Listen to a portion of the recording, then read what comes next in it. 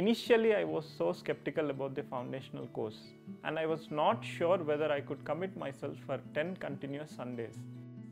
But when we saw the spiritual growth in our life group friends who were part of the previous batch, it encouraged me and my wife not to miss this wonderful opportunity, and we enrolled ourselves in 2024 January. It was an immense blessing for me and my husband to be a part of the Foundations course. It helped us to learn and see things from a different perspective. The course was not only foundational but personally transformational. We understood God's love and nature more deeply, learned that God loves worship that sees no barriers, how to walk by faith and not by sight, and most important of all, that prayer is our greatest weapon.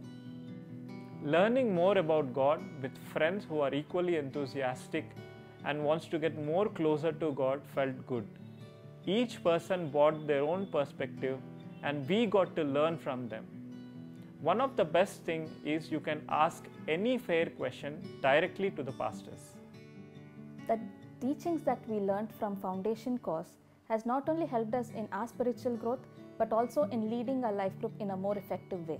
The learnings that we got from the Foundation course we were able to share with our group members as well.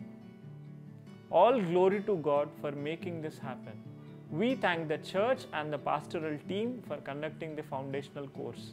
We would love to encourage each one of you to join the next batch of foundation course so that you can come closer to God and learn new things about God. May God bless you with wisdom and knowledge. I am Sahith and my wife Janice. This is a story of hope.